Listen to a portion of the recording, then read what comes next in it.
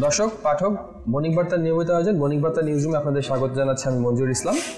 আপনারা জানেন, সাম্প্রতিক বিভিন্ন বিষয় তার বিশ্লেষণ নিয়ে আমাদের নিয়মিত আয়োজন। আজ আমরা আলোচনা করব বণিক বার্তায় প্রকাশিত প্রধান প্রতিবেদন। প্রতিবেদনটির শিরোনাম, ছয় দশকেও পরিণত হতে পারেনি ঢাকা স্টক এক্সচেঞ্জ। প্রতিবেদনটি করেছেন বণিক বার্তার নিজস্ব প্রতিবেদক মেহেদি হাসান রাহাত। তিনি আমাদের সঙ্গে আছেন। রাহাত, আপনাকে স্বাগতম। ধন্যবাদ মঞ্জুর। রাহাত প্রথমে আমরা আপনাদের কাছে জানতে চাবো প্রতিবেদনটি যে করেছেন আপনি ছয় দশক তো অনেক দীর্ঘ সময়। এত বড় বেশি সময়ও একটি প্রতিষ্ঠান কেন পরিণত হতে পারল না? বিষয়টা আপনি কীভাবে দেখছেন? ধন্যবাদ আপনাকে।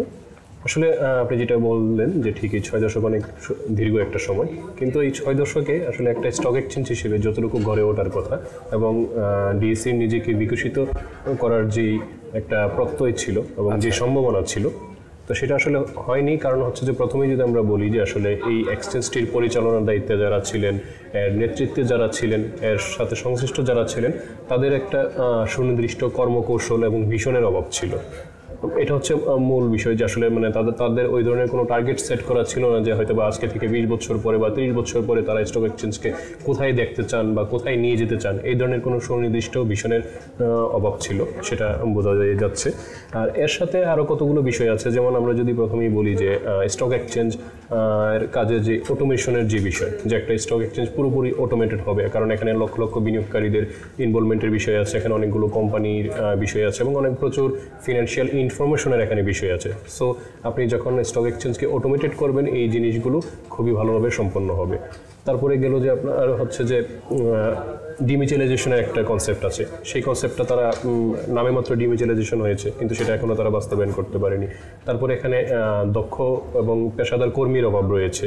তারপর আমরা যদি বলি যে, তাদের এখানে যিনি নেতৃত্ব দিবেন, যে একজন এফিসিয়েন্ট সিইও বা ম্যানেজিং ডিরেক্টর সেটার অভাব রয়েছে, কারণ বরাবরই আমরা দেখছি যে তাদের এমডি নিয়োগ নিয়ে অস্থিরতা এমডিরা পদত্যাগ করছেন, আসছেন, যাচ্ছেন। এই ধরনের নানা ফ্যাক্টর এখানে কাজ করছে, আর যার কারণেই হচ্ছে যে আসলে এই এক্সচেঞ্জটা একটা দক্ষ এবং হচ্ছে যে মানে দীর্ঘ দীর্ঘ সময় একটা পরিণত অবস্থায় পৌঁছতে পারেন। মেচিওর্ড একটা স্টেজ যেতে পারেনি তারা। আচ্ছা আপনার প্রতিবেদনে আপনি লিখেছেন যে ডিএসসি পূর্ণ পূর্ণাঙ্গ অটোমেশনে যেতে পারেনি। এটা কেন? এখনও কেন পারল না? আচ্ছা আমাদের দেশে এক সময় যারা পুরনো ব্রোকার কিংবা বিনিয়োগকারী যারা আছেন তারা এখনও স্মৃতিচারণ করে থাকেন যে একসময় মতিঝিলের এলাকায় হাতে করে কাগজের শেয়ার বিক্রি হতো। মানে ডেকে ডেকে আপনার কোম্পানির শেয়ার ডেকে বিক্রি করতো। তো সেই অবস্থা থেকে উনিশশো আটানব্বই সালে প্রথম অটোমেটেড প্ল্যাটফর্মে ডিএসিতে লেনদেন শুরু হয়। তো সেটার পরে দুই হাজার চার সালে প্রথম হচ্ছে যে ইলেকট্রনিক শেয়ার আসে। তো এই দুইটা হচ্ছে যে আমাদের স্টক এক্সচেঞ্জের মেজর অটোমেশনের ক্ষেত্রে মেজর ডেভেলপমেন্ট তারপরে দুই হাজার তেরো সালের দিকে আপনার নতুন ম্যাচিং ইঞ্জিন তারপর অর্ডার ম্যানেজমেন্ট সিস্টেম এবং হচ্ছে যে নতুন ইন্ডেক্স এগুলো আপনার চালু করা হয়। তো এই ডেভেলপমেন্টগুলো কিন্তু এই পর্যন্ত হয়েছে। কিন্তু এর পাশাপাশি আপনার যে একটা স্টক এক্সচেঞ্জের কাজের সাথে আপনার ব্রোকারেজ হাউস ইনভলভ থাকে রেগুলেটরি ইনফরমেশন রেগুলেটরের সাথে তাদের কানেক্টিভিটি থাকে মার্চেন্ট ব্যাংকের সাথে তাদের কানেক্টিভিটি থাকে লিস্টেড কোম্পানির সাথে কানেক্টিভিটি থাকে। ইভেন হচ্ছে যে আপনার ব্যাংকের ট্রানজেকশন যে শেয়ার কেনা বেচার পরে সেই টাকাটা যে আপনার যিনি বিক্রি করলেন তিনি যে পাবেন সেই টাকার যে ব্যাংকের ট্রানজেকশন সেটাও কিন্তু আপনার ডিজিটাল প্ল্যাটফর্মে হওয়ার একটা ইয়ে থাকে। তো এই সবগুলো পার্টিকে আপনার একটা ডিজিটাল ইন্টিগ্রেটেড ডিজিটাল প্ল্যাটফর্মে কানেক্ট করার যে বিষয়টা সেই ইন্টিগ্রেশন সিস্টেমটি আসলে সম্ভব হয়নি। আচ্ছা ডি ডিমিউচুয়ালাইজেশনের উদ্যোগ নেওয়া হয়েছিল অনেক আগেই আবার সেটাও এখনও বাস্তবায়ন হয়নি। আবার আপনি বলে আপনার প্রতিবেদনে বলেছেন যে দক্ষ পেশাদার কর্মীর অভাব রয়েছে। তো দক্ষ পেশাদার কর্মী নিয়োগের উদ্যোগ নেওয়া হচ্ছে না কেন? আচ্ছা ওই যে আপনার ডিমিজুলাইজেশনের যেই মূল ফোকাস ছিল তার যে মূল থিম ছিল যে সেটা হচ্ছে যে স্টক এক্সচেঞ্জের মালিকানা থেকে ব্যবস্থাপনা কর্তৃপক্ষকে আলাদা করা। যাতে হচ্ছে যেখানে বেটার কর্পোরেট গভর্নেন্স যাতে এনশিওর করা যায় সেটার জন্য। তো আমরা সেটা দুই হাজার তেরো সালে আপনার সে, মানে জাতীয় সংসদে আইন পাস হয় ডিমিচুলেশন অ্যাক্ট। তো সেটার পর আজকে সেই তখন থেকে যদি হিসাব করি সাত বছর পেরিয়ে গেছে। কিন্তু এখনও দেখা গেছে যে আপনার এই এক্সচেঞ্জ এক্সচেঞ্জের আপনার বোর্ডে যারা থাকেন ডিমিচুলেশনের পরে আপনার হচ্ছে যে সেখানে স্বতন্ত্র পরিচালকরা লিড করবেন। তো আসলে আমরা এই গত সাত বছরে স্বতন্ত্র পরিচালকদের ওই ধরনের কোনো স্ট্রং আপনার একটা রোল যে প্লে করার তাদের যে একটা রেসপন্সিবিলিটিস আছে আইন অনুযায়ী, সেটা আমরা প্লে করতে দেখিনি। আর আছে দক্ষ দক্ষ যে কর্মীর কথা বলছেন যে আপনার স্টক এক্সচেঞ্জ বাংলাদেশের স্টক এক্সচেঞ্জ এখন শুধুমাত্র ইকুইটি নির্ভর। এর বাইরে যা আপনার নানা ধরনের বন্ড নানা ধরনের ফিচার নানা ধরনের ডেরিভেটিভস নানা ধরনের ভ্যারাইটিস আপনার যেসব প্রোডাক্ট আসার কথা ওয়ার্ল্ডের অন্যান্য স্টক এক্সচেঞ্জ আমরা যেগুলো দেখছি, সেগুলো কিন্তু আপনার আমাদের এখানে নাই। আসলে আপনার শুধু একক একজন হয়তো বা একজন চেয়ারম্যান কিংবা বোর্ড দিয়ে তো আপনি স্টক এক্সচেঞ্জের উন্নয়ন করতে পারবেন না। একই সাথে একটা এফিসিয়েন্ট বোর্ড লাগবে, একটা এফিসিয়েন্ট ম্যানেজমেন্ট লাগবে এবং হচ্ছে যে টোটাল ম্যানেজমেন্টকে আপনার মোটিভেট করার জন্য একজন এফিসিয়েন্ট এবং ভিশনারি লিডার যিনি হচ্ছেন এমডি বা সিও সবার সমন্বয়ে কিন্তু আপনার বিষয়টা হবে। তো এই, ওই ক্ষেত্রে, ওই জায়গাতে আপনার হিউম্যান রিসোর্সের ক্ষেত্রে ডিএসির ঘাটতি আছে। রিসেন্টলি গত দুই তিন মাস আগে ডিএসির বোর্ড থেকে একটা কমিটিও গঠন করা হয়েছিল। তো সেই কমিটিও আপনার এই জিনিসটা অ্যাড্রেস করেছেন যে ডিএসিতে প্রয়োজনের তুলনায় একশো বিয়াল্লিশ জন স্টাফ রয়েছেন যাদের আসলে তেমন কোনো সুনির্দিষ্ট দায়িত্ব নেই। আচ্ছা আচ্ছা। তার টোটাল সাড়ে তিনশো পঞ্চাশের মতো যে জনবল এর মধ্যে একশো বিয়াল্লিশ জন আছেন অতিরিক্ত যাদের সুনির্দিষ্ট কোনো দায়িত্ব নেই। তো এ থেকে আসলে বোঝা যায় যে তাদের আসলে হিউম্যান রিসোর্স ম্যানেজমেন্টটা এফিসিয়েন্ট হইতে হয়নি। আবার যারা আছেন তারাও সেরকম দক্ষ নয়। জি এবং দক্ষতার ঘাটতি আছে। আচ্ছা। আপনি বলেছেন যে ডিআর সাইট না থাকার কারণে যে কোনো দুর্ঘটনা ঘটতে পারে, যে কোনো দুর্ঘটনা ঘটলে ব্যাকআপ নেই এবং সমস্যা তৈরি হতে পারে। তো অটোমেশনের তো বাইশ বছর হয়ে গেল। ডিআর সাইট বানানোর উদ্যোগ না হলো না কেন? আচ্ছা আম, এই বিষয়টা নিয়ে স্টক এক্সচেঞ্জের অনেকের সাথেই কথা বলেছি। তারাও সবাই স্বীকার করেছেন একই সাথে হচ্ছে যে উপরওয়ালার কাছে সুক্রিয়া আদায় করেছেন যে আসলে এই এত বছরে ডিআর সাইট নেই কিন্তু হচ্ছে যে এর মধ্যে কোনো দুর্ঘটনা ভাগ্যবশত ঘটেনি। ঘটলে আসলে কি হতো? তারা সবাই এটা নিয়ে চিন্তিত। তো আসলে ওনারা যেটা বলছেন যে আসলে হ্যাঁ করা হবে একটা সময় পর্যন্ত ওনারা ডিআর সাইটের প্রয়োজনীয়তা সেভাবে অনুভব করেননি। আবার যখন ওনারা এটার যখন ডিআর সাইট কনসেপ্টটা আপনার পপুলার হলো বিভিন্ন প্রতিষ্ঠান করা শুরু করল তো তখনও তারা আপনার ইনিশিয়েটিভ নেবেন আপনার সেটা স্থাপন করবেন সেই প্ল্যানিং এর মধ্যেই ছিলেন। আসলে মানে এই এক্সচেঞ্জের আমরা যে যে জিনিসটা ফোকাসে নিয়ে এসেছি এখানে আসলে তারা যে ধরনের ইনিশিয়েটিভ বা যে জিনিসটাই নিয়েছে সেটা কিন্তু আপনার সাকসেসফুলি এবং ইফিসিয়েন্ট হইতে তারা সেটা কমপ্লিট করতে পারেনি। তো এই জায়গাতে মানে তাদের হচ্ছে যে একটা প্ল্যান এক্সিকিউশন করার ক্ষেত্রে তাদের যে এফিসিয়েন্সি সেটাতে একটা মারাত্মক রকম ঘাটতি রয়েছে। এখানে কি অর্থায়নের কোনো সমস্যা আছে? অর্থায়ন না এখন ওইটা যে খুব বেশি যে সমস্যা হবে সেটা তা না কারণ হচ্ছে যে তারা বিভিন্ন সময় তো বিভিন্ন সফটওয়্যার বিভিন্ন সিস্টেম আপডেটেশন এগুলোতে তো আপনার তারা বিভিন্ন সময় অর্থ ব্যয় করেছে। তো সেই ক্ষেত্রে আপনার অর্থের যে সমস্যা কোনো ঘাটতি তাদের। না মানে মানে দৃশ্যমানভাবে সেই ধরনের অর্থের কোনো ঘাটতি নেই।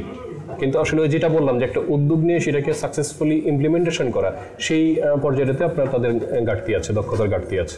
আচ্ছা চীনা কনসিডারিয়ামের বিষয়টা একটু বলবেন যে দুই বছর হয়ে গেল তাদের কাছ থেকে তো বিনিয়োগ এরকম আসেনি। আচ্ছা ওইটা অলরেডি আপনার বিভিন্ন স্টেক হোল্ডার এবং হচ্ছে যে শেয়ার হোল্ডার যারা বা মার্কেট সংশ্লিষ্ট যারা আছেন সবাই আসলে বলা বলি করছেন যে আসলে দুই বছর হয়ে গেল চীনের কাছে আমরা ঢাকা স্টক এক্সচেঞ্জে টোয়েন্টি ফাইভ পার্সেন্ট শেয়ার বিক্রি করলাম। তো আসলে লাভ হলো কি?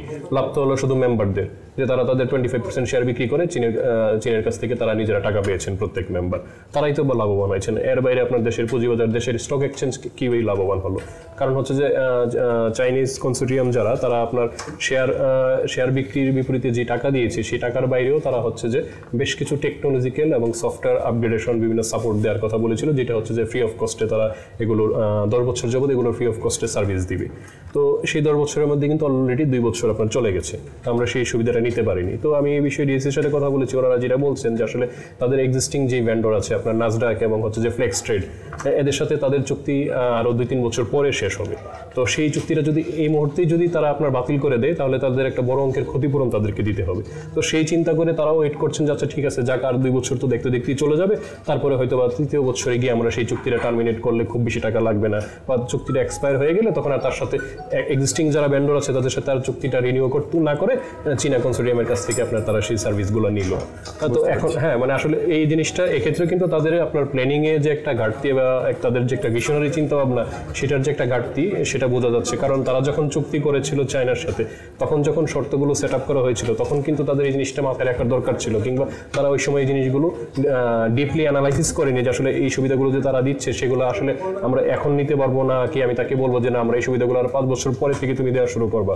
হ্যাঁ মানে সেই বিষয়গুলো তারা আসলে ওই সময় ডিপলি অ্যানালাইসিস করেনি যার ফলে হচ্ছে যে এখন আমরা দেখতে পাচ্ছি যে আসলে তারা এখন একটা জটিলতার মধ্যে পড়ে গেছে যে যদি চাইনা কনসোর্টিয়ামের কাছ থেকে সুবিধাগুলো নিতে হয় এক্সিস্টিং ভেন্ডারের কাছ থেকে চুক্তি টার্মিনেট করতে হবে এবং সেই বাবদ তাকে একটা বড় অঙ্কের জরিমানা দিতে হবে। তো সেই বিষয়গুলো কিন্তু আপনার আগেই চিন্তা করা দরকার ছিল। আচ্ছা বুঝতে পেরেছি, রাহাত। আমরা জানি যে ডিএসির যে কার্যালয়, সেটি স্থানান্তর করা হয়েছে নিকুঞ্জিতে। এটা গত বছরই করা হয়েছে। তো আপনার প্রতিবেদনে দেখলাম যে দীর্ঘ সময় পেরিয়ে গেলেও কার্যালয় স্থাপন করা হলেও এটা ডাটা সেন্টারটি নিকুঞ্জে এখনও নিয়ে যাওয়া হয়নি, যে জন্য আসলে ফল পাওয়া যাচ্ছে না। এর পিছনে কারণ কি? ডাটা সেন্টারে নেওয়া হচ্ছে না কেন? সবাই আহ, এটাই বলা বলি করছেন ইভেন হচ্ছে যে মানে মানে আপনি তো অনেকের সাথে কথা বলেছেন হ্যাঁ, সবাই একই বই- বিষয়ে বলছে যে আসলে ডিএসসির প্রত্যেকটা কাজে আমি যেটা বারবারই বলছি যে তাদের প্রত্যেকটা তারা যেগুলো ইনিশিয়েটিভ বা যে কোনো প্রজেক্ট নিয়েছে সবগুলোতেই হচ্ছে যে তাদের দক্ষতা এবং প্ল্যানিং এর মানে সুনির্দিষ্ট কোনো প্ল্যানিং এর আপনার ঘাটতি আছে যে আসলে তারা মানে সুনির্দিষ্ট প্ল্যানিং করে কোনো কাজ করছে কিনা সেটা নিয়েও সন্দেহ আছে। কারণ হচ্ছে যে তারা প্রথমে হয়তো বা দুই মানে তাদের যে ডিএসসি টাওয়ার আছে যেটা সেটা আপনার তারা যে এস্টিমেটেড টাইমের মধ্যে করার কথা ছিল, সেই সময় করতে পারেনি। কয়েক দফা সময় বাড়িয়ে এবং এর জন্য আপনার তাদের কষ্ট অনেক বেড়েছে। তারপর অবশেষে তারা সেটা করে গত বছর আপনার ইয়েতে গত বছর সেখানে শিফট হয়েছে। তো সেই শিফট হওয়ার পরেও দেখা গেছে যে মতিঝিল থেকে এক বছর হয়ে গেল, এখনও তারা ডাটা সেন্টার নিতে পারিনি। তো আমরা যেটা ডিআর সাইটের কথা বলছিলাম ডিআর সাইট কে যদি আপনার ডিআর সাইটে যদি আপনার সেট আপ করতে হয় তাহলে কিন্তু আপনার ডাটা সেন্টারটা মতিঝিল থেকে আপনার নিকুঞ্জতে নিতে হবে। সেটা নেওয়ার পরে আপনার এ করতে হবে। কিন্তু এই যে তাদের একটা প্ল্যানিং তারা চিন্তা ভাবনা করে কাজ করেনি হুট করে তারা আপনার ডাটা সেন্টার অফিসটা এখান থেকে মতিঝিল থেকে ডিএসিতে নিকুঞ্জতে স্থানান্তর করেছে। তখন তাদের সেইভাবে চিন্তা ভাবনার ক্ষেত্রে ঘাটতি ছিল যে আসলে আমরা ডাটা ডাটা সেন্টারটা কি করব কোন সময় আমরা সেটা চেঞ্জ করব। সেই প্ল্যানিং এর ক্ষেত্রে তাদের ঘাটতি ছিল যে কারণে আসলে তারা এখনও এক বছর হয়ে গেল তারা সেটা করতে পারেনি। আহ, ধন্যবাদ রাহাত আপনার আলোচনা থেকে আশা করি দর্শকরা অনেক কিছু জানতে পারবে। দর্শক সাম্প্রতিক বিভিন্ন বিষয় নিয়ে আমরা নিয়মিত থাকছি বণিক বার্তার ডিজিটাল মাধ্যমে। সর্বশেষ সংবাদ পেতে চোখ রাখুন বণিক বার্তার ওয়েবসাইট ডাব্লিউ ডট বণিক বার্তা ডট নেটে করোনা সংক্রমণ প্রতিরোধে সাবধানে থাকুন। ধন্যবাদ।